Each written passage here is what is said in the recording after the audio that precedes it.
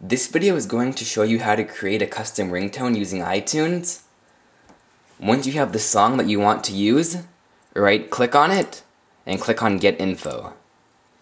Click on Options and then select the start and end time that you want to use as your ringtone.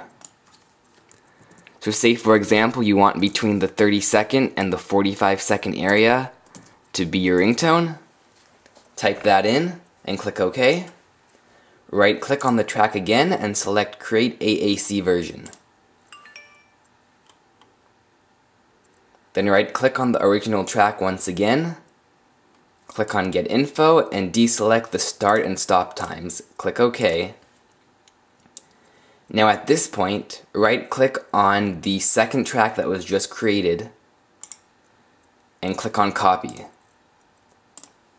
Go to your desktop, click Paste.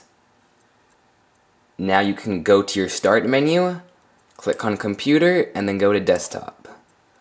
Scroll down to where the track is, and then go to Organize right here at the top left. Click on Folder and Search options, go to View, scroll down, and then where it says Hide Extensions for Known File Types, you want to deselect that. Click Apply and click OK.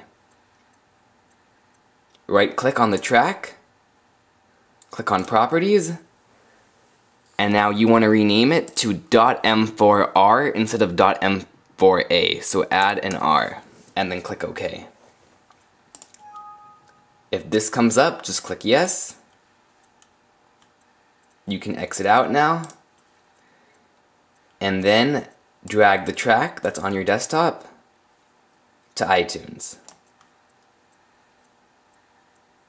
Then right up here, it will say music, movies, podcasts, and stuff. Go to tones, and then your ringtone will appear. Once you sync your iPhone, then it will be there.